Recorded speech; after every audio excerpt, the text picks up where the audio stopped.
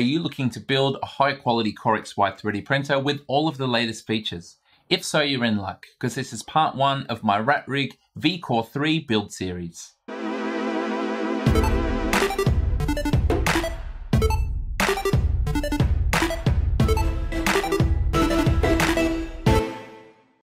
Late last year, I announced I would be doing a step-by-step -step series building up a high-quality Core XY 3D printer kit.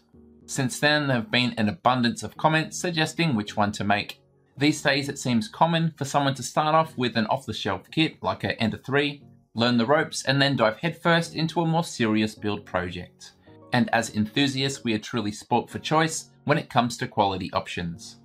A popular choice of many is the Voron, the latest being the Voron version 2.4. We have the Hevort, which has some ridiculously fast prints shown on their YouTube channel. I've previously featured the SecKit Go, and they have an upcoming SK tank, which looks great as well. We've got the MGN Cube by Ben Levi, the Layer Fused X301, and printers like the Hypercube Evolution. There really is so much good stuff to choose from. But the model I've chosen is the new V-Core 3 from RatRig. If you're looking to learn about the features of this printer, this page is your friend. As you can see, it's a Core XY 3D printer kit with some extremely nice features. The mounting of the bed is amazing. It's suspended in three points by three separate stepper motors, and this can be used to get it perfectly flat. It's also using tooling plate for the bed, so it shouldn't warp. All of the motion runs on linear rails, and the frame is built from 30 series extrusion rather than the more common smaller 20 series. Like most of these machines, it's somewhat modular and that means a choice of different build sizes. One thing I really like is that for the hot end, it uses the EVA system, and that supports a wide range of options, so if you've got some existing hardware, there's a fair chance you'll be able to use it on this build. Like the SecKit, which I really enjoy working on, the electronics can be mounted on the back for easy access but you also have the option to partially or fully enclose the printer if you want to have a heated chamber or print some more exotic filaments. The printer is completely open source, with the STLs and step files available online, and there's even a publicly available CAD model through Onshape. This means if you want to remix and modify, it's going to be extremely easy. High quality step-by-step -step instructions are available for the whole build, and this should ensure that the printer goes together soundly, and that means great print quality too. Let me be clear in that I'm not saying these features are unique to the Rat rig, as they're most likely going to be found in many of these other options. With that in mind, why did I choose the Rat rig? Well, it's quite simple, my patrons. Some of them have been building this printer, so I thought it would be nice to do it together. Plus, they did contact Rat rig to get the ball moving, it's been locked in since last year, and since then it's just been a matter of being patient, waiting for the parts to become available. This will be a multi-part series with a couple of videos on the build, one on electronics, and I know some people will be thrilled to hear this machine will be running Klipper with an SKR Pro as well as a Raspberry Pi. I'm going to have a video on calibration, including what looks to be amazing Klipper resonance tuning, and perhaps even an attempt at a really fast benchy for the speedboat race. Let's get started on this build by looking at the ordering process. Everything is done through this configurator page and I reckon it's fantastic. As we can see the base price is 500 euros and then depending on what you pick will determine your final price.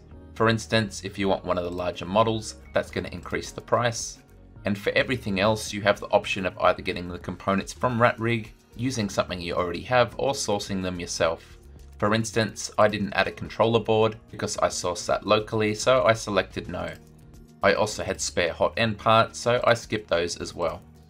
There are printed parts in this kit, so you can either print them yourself, which I did, or if you want to pay extra, you can have them printed for you. Now you can work your way down the page, selecting which options, depending on how much you want to spend and what components you might already have. Back at the top of the page, the price will update depending on your options, and if you're just above or below your budget, you can tweak your selections to get it where you want.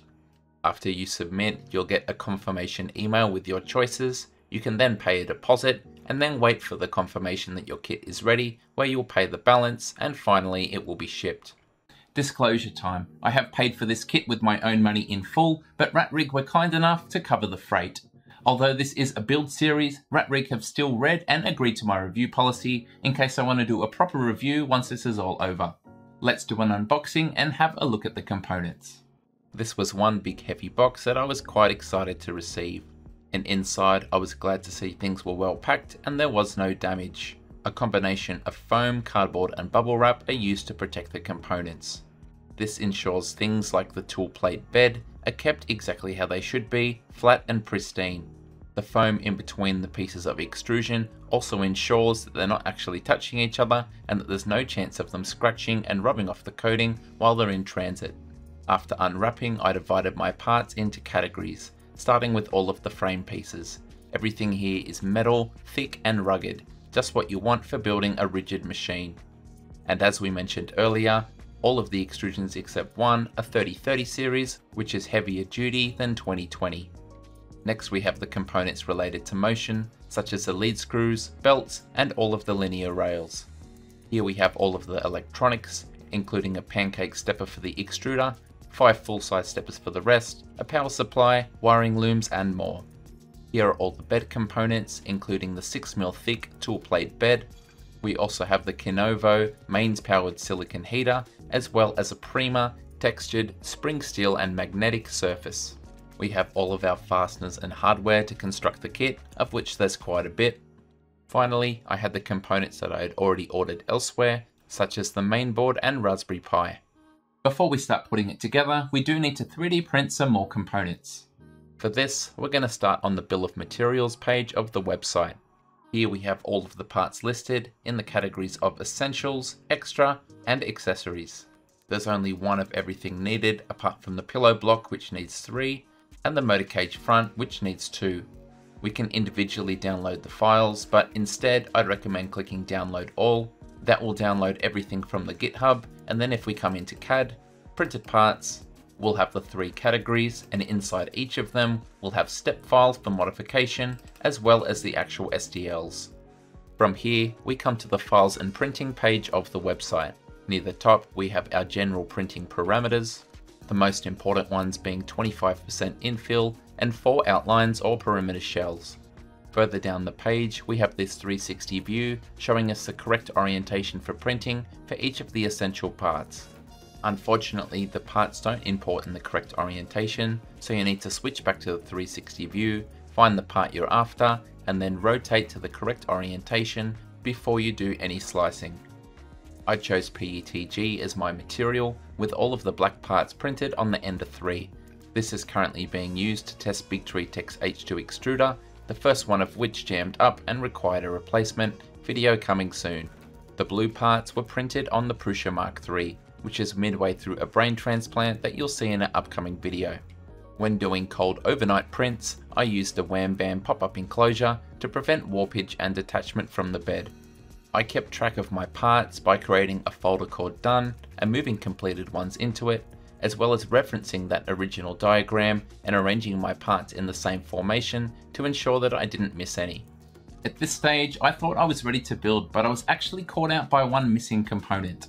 When I thought I was ready to assemble, I decided to browse and look ahead in the instructions, and that's when I came across step 8 that talks about the optional inner frame panel that holds the electronics on the back of the machine. As the page says, the panels are not supplied by a rat rig, they are meant to be sourced locally, and this is something I had not done.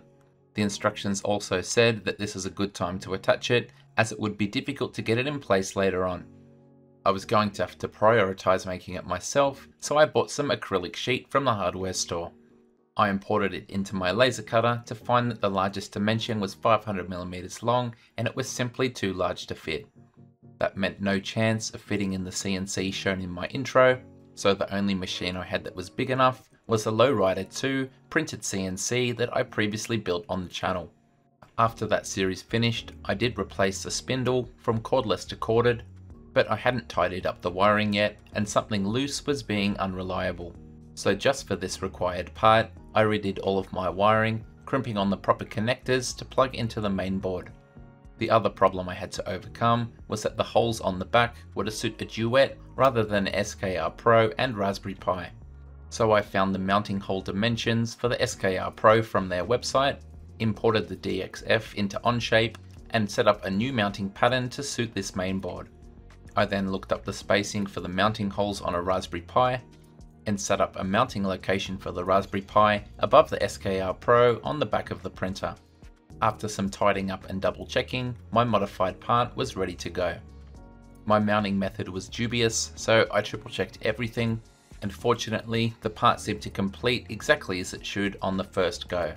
Later in the build, once I've verified that the dimensions are accurate, I'll release the DXF for this part for others to use. Finally, I was ready to go, so let's get into it. The official instructions will always be the most up-to-date and detailed resource, so please follow that and count what you're about to see as more of an outline to show you what's involved. Tools aren't supplied with the kit, so you will need your own before you proceed, and I'd strongly recommend laying out your work area to make it neat and efficient, as well as having the online instructions somewhere nearby. First things first, our printed parts might require some cleanup. You can see here I have some fine stringing, and my favourite way of removal is to use a heat source to melt it away to nothing. You'll also notice some sections that allow holes to be printed without the need of support. We need to use a drill bit or a similar tool to clean these out, at least enough for the fastener to go through. Just like building Lego, it's best to get out all of the parts you need as you arrive at the beginning of your next step. Most of the early stages require the repetition of putting nuts and bolts together on the metal brackets. For instance, the first step is to build up 4 feet, then we prepare 16 corner brackets and a dozen joiner brackets. We use a long ruler to select the correct lengths of extrusion before following the diagrams to arrange them into the correct shape and doing up the bolts lightly before checking everything is square and even with a ruler before tightening and moving on to the next step. It wasn't long before my electronics panel was required and I was very glad to see that it fit the frame perfectly. All of these early steps lead to the building up of three sub-assemblies, which we then combine into one big frame using the remaining extrusion pieces. Throughout the process, there's an emphasis on measuring to make sure everything is in the exact position to avoid having to change things later on. With the addition of our first 3D printed pieces for the end stop and some cable management, the first chapter is complete and we have our assembled frame. And that's how this is, a series of simple steps that most people will be able to complete to a satisfactory standard. It is harder than assembling an off-the-shelf 3D printer kit, but I wouldn't say it's hard overall. As we continue, we start to utilize more of our printed parts, but they're generally paired with metal brackets, which vastly increases their strength. All of these brackets are designed in such a way that as we add them to the frame, the frame becomes even more rigid. We can see this principle with this motor mount, which bolts to two pieces of the frame before having printed parts added, and then a combination of washers, spacers and pulleys to build up the guide system for the belt. And that's one thing I found novel about this build, instead of doing the frame and then adding the belt at the end, we're constantly routing the belts as we go. More pulleys are added to the stack, before the upper belt is inserted and routed into the correct position and then we add an additional printed part from the top to cleanly cap everything off.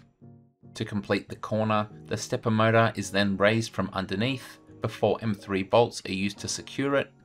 The whole thing is very neat and very compact and we mirror this sub-assembly in the other corner to complete stage 2.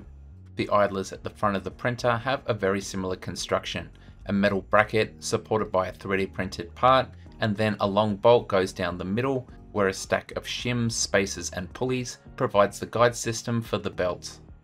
One of these idler assemblies in each front corner and stage 3 is complete. The next phase concerns mounting the three stepper motors that control the Z axis.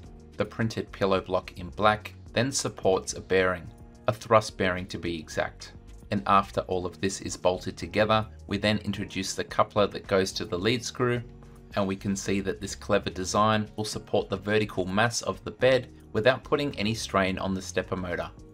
In each of the front corners, we use four M6 bolts to secure this to the frame, and at the back of the printer, there's a third similar piece, which once again uses four fasteners to mount it to the frame.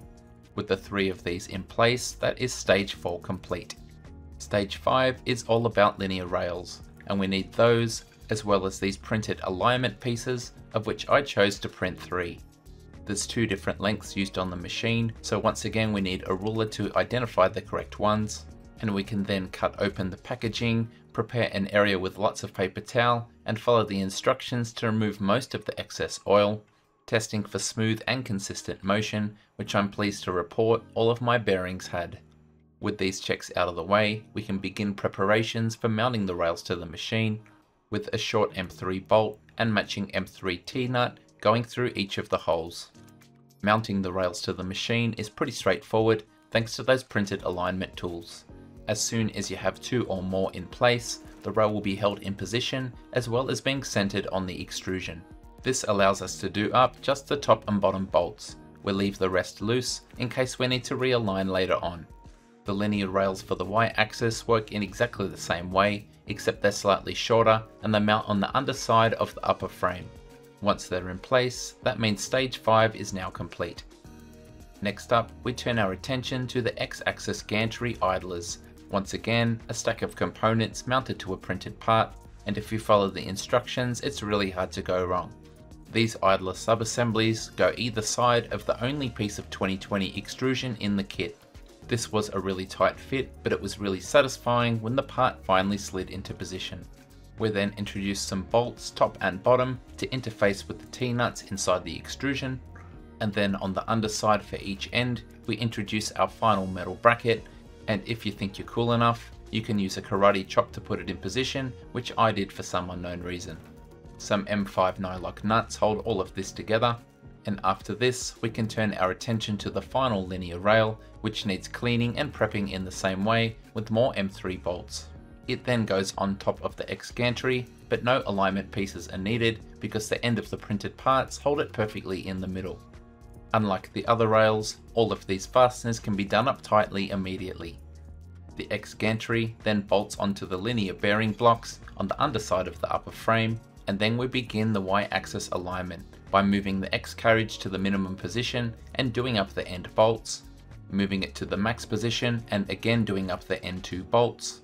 Assuming the carriage now moves freely through the full range of travel, we can do up the rest of the M3 bolts to fasten the linear rails into place permanently. We then do the same for the bolts holding the X carriage onto the bottom of the linear bearing blocks. Thread the belts through all of the idlers. This one was easy, but some of the others needed disassembly because it was so tight. In stage 6, the X gantry is now complete.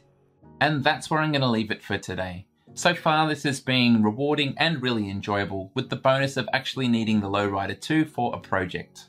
Next up is mounting the bed and choosing which hot end and extruder combo I'm going to use with the EVA system. I have parts for the Titan, BMG and Orbiter, all of which are supported. Feel free to let me know which one I should use in the comments section. Thank you so much for watching and until next time, happy 3D printer building. G'day, it's Michael again. If you like the video, then please click like. If you want to see more content like this in future, click subscribe and make sure you click on the bell to receive every notification. If you really want to support the channel and see exclusive content, become a patron. Visit my Patreon page. See you next time.